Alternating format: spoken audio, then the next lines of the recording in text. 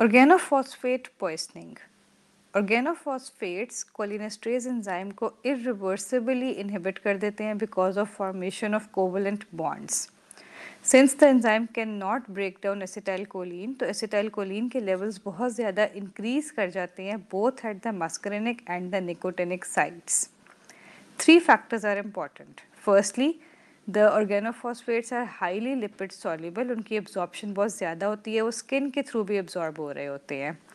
Second they are irreversible in their action तो वो extremely long acting होते हैं।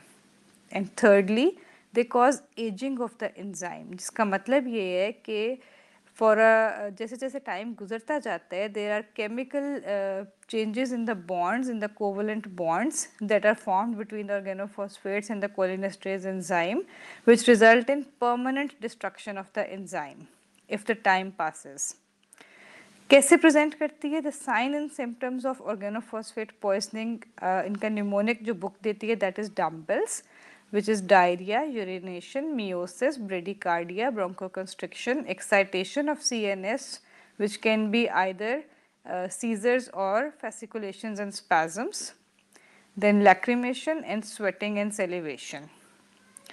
Treatment involves vital signs and support ABC. Then to treat the muscarinic excess, we have to give atropine which is an anti-muscarinic drug.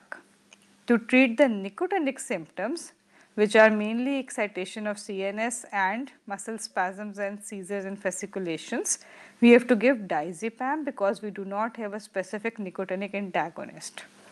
And the third is we have to give a cholinesterase regenerator which is pralidoxime which can regenerate and or liberate the cholinesterase enzyme from the organophosphates if given within 72 hours.